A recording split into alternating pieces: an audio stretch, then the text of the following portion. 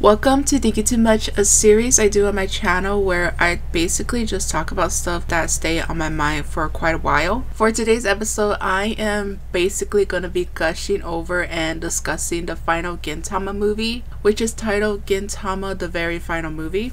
So, how I ended up watching this movie is that I got the DVD and from what I know and what I've seen, you can get the DVD on Amazon. You can also rent it on YouTube, which was what I tried to do when I first realized that YouTube did have the ability to rent it. But for some reason, YouTube wouldn't let me rent it. It was probably just like an internet sort of thing problem. So, yeah, I didn't want to buy it on there because I wanted like a physical copy if I was going to keep it. So, yeah, I just went on Amazon and got it.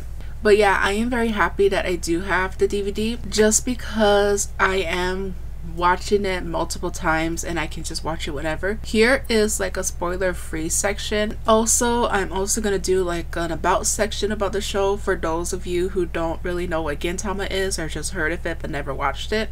Overall, I really did enjoy this movie so, so much. It really stayed true and basically felt like Gintama the music was great. I really liked the soundtrack. And the movie was filled with very satisfying moments. There rarely is anything bad about the movie that I can think of at the top of my head.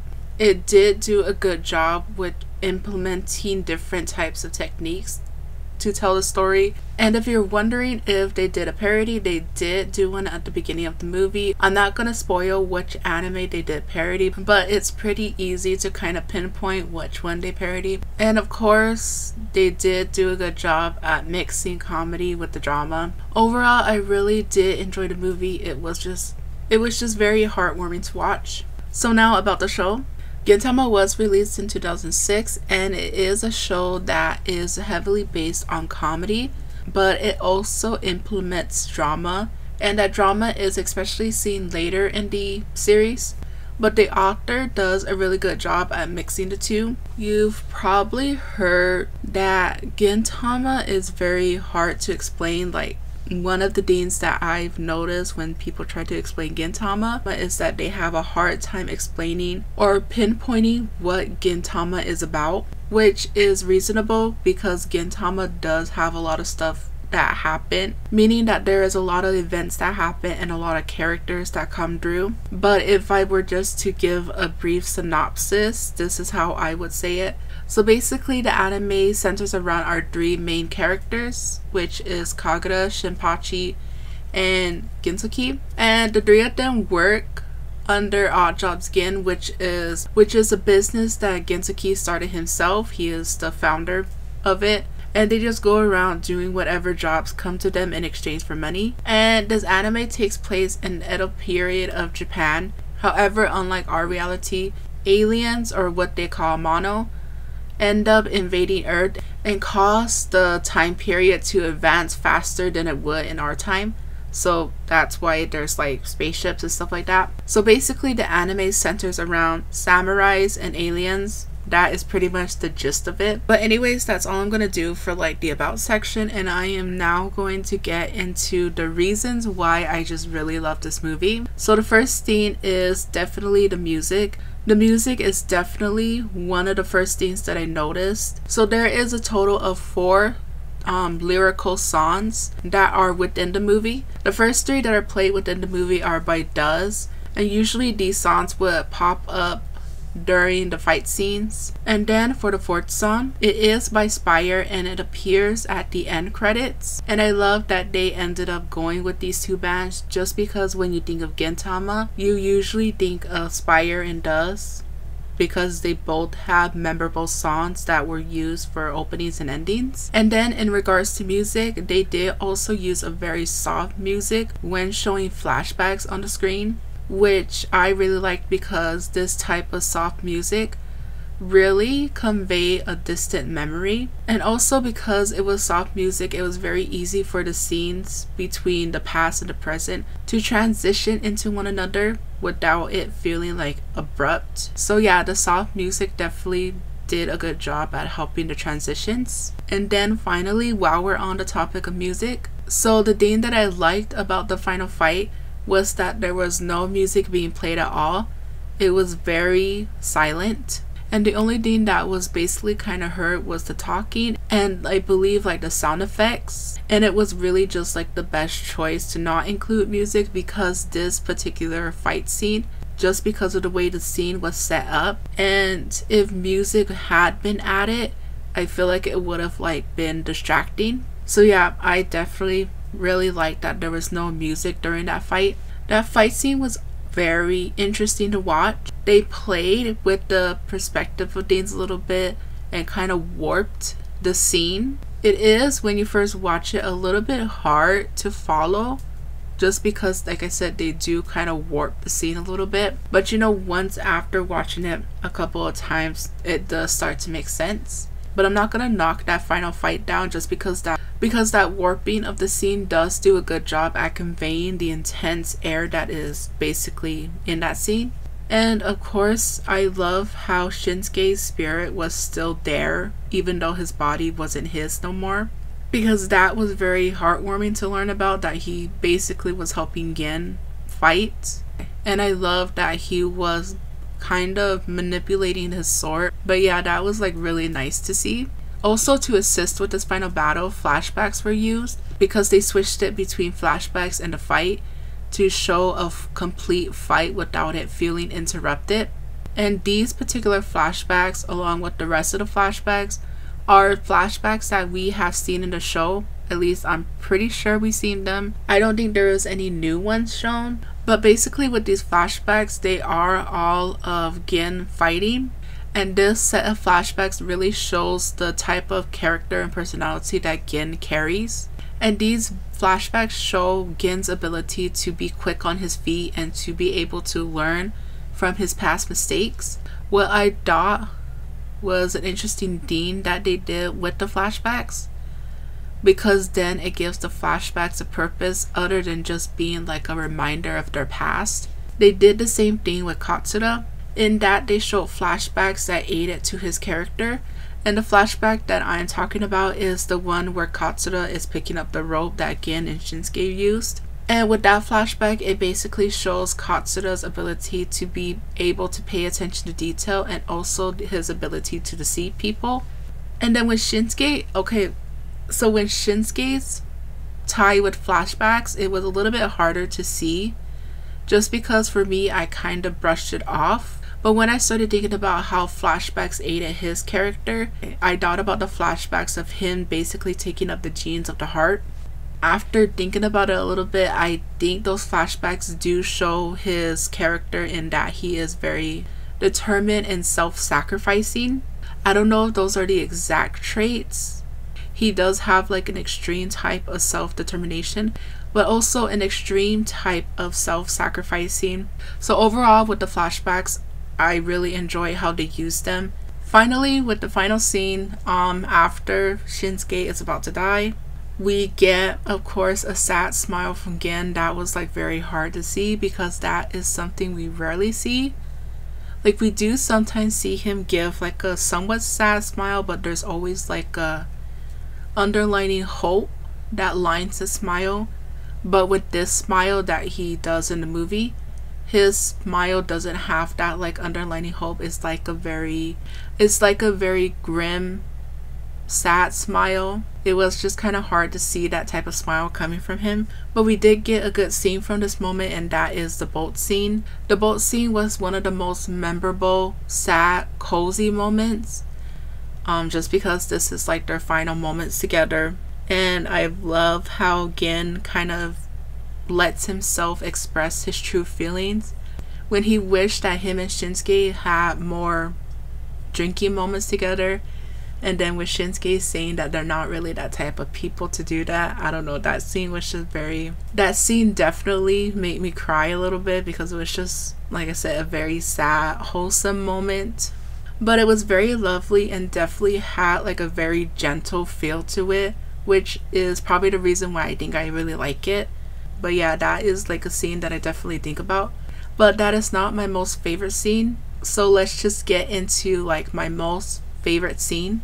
Also before we move on I forgot to mention what my favorite flashback was. My most favorite flashback is definitely Katsura's just because I really like liked it a lot. And I just thought it was funny that nobody can see the rope behind him.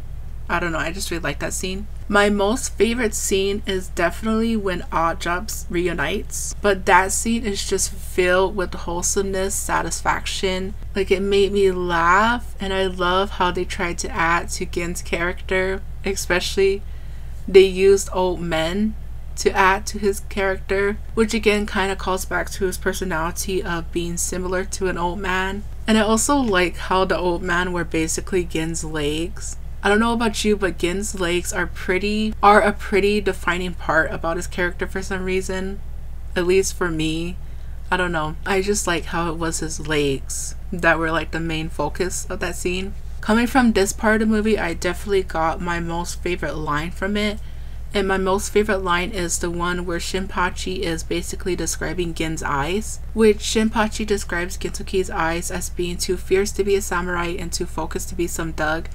And of course, that is reminiscent of how he describes Gin when he first meets him. And yeah, I just really love that quote so much. Like, I liked it when I first heard it. There's just something about that quote that's very Pacific and like gives a very specific idea of what he means. But of course, we do see like the type of ice that he's talking about. But yeah, I just really like that quote. That is my most favorite quote from the movie and from the show overall. And of course, I also ended up noticing something during the scene. And the thing that I noticed was the type of point of view that the movie was taking place in. I didn't notice it before this scene, but a majority of the movie does take place from a third person perspective, which is kind of different from the show because a majority of the show does take place from a first person perspective we see the show through Oddjobs' eyes, which is why we are able to understand their motivations, thoughts, and reasons behind their actions. But with the movie, I think they decided to do a third person point of view because when you're watching Oddjobs fight, you're not really seeing their reasoning behind fighting. Well, okay, you're not really seeing their interaction with one another on an intimate level you're not hearing what they're saying to each other, and you're not getting their feelings, which honestly I think is a good thing because then you can see Oddjobs from an outside perspective. You can see how talented they are.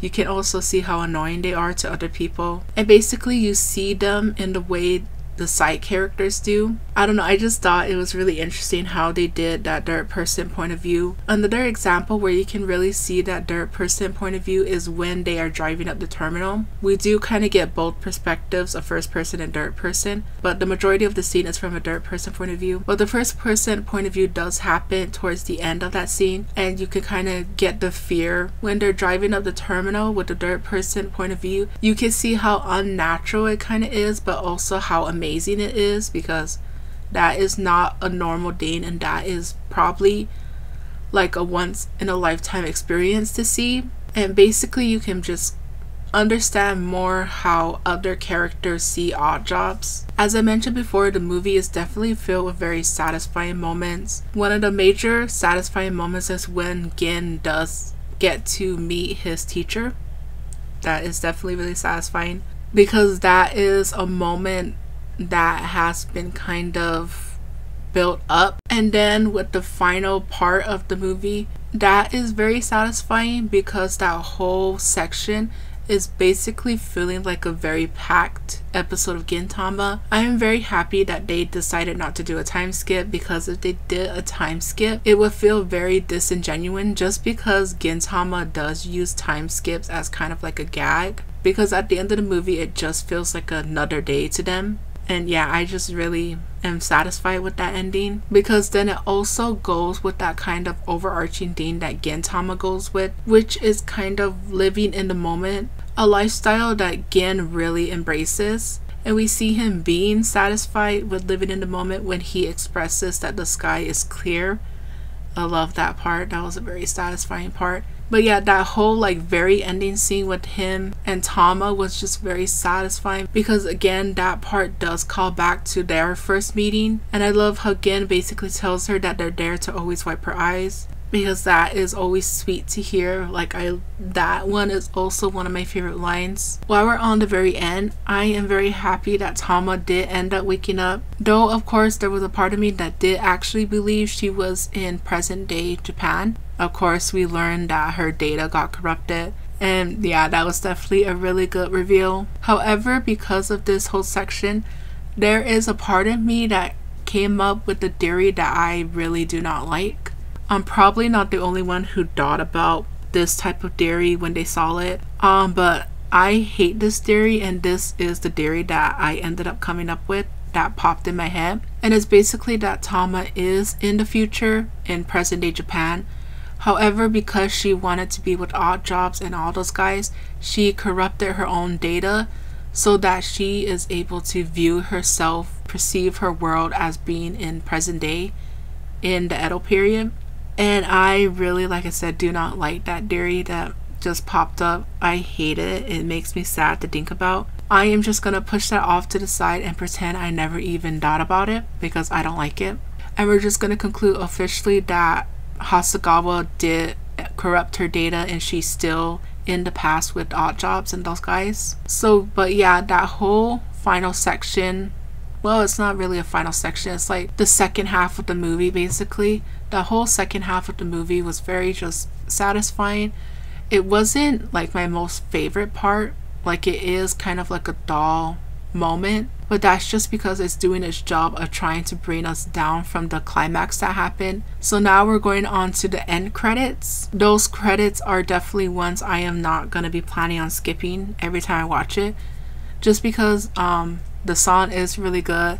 And two, I like how they set it up. So of course we have our silhouettes of the characters running through a field, but I like how they overlay images that come from the openings and endings because that made the end credits fun because I had a fun time trying to guess the image and trying to and trying to locate which ending or opening it came from. Some of them were pretty obvious, like for example with Elizabeth with the umbrella, that is from opening 2 with the Mr. Raindrop.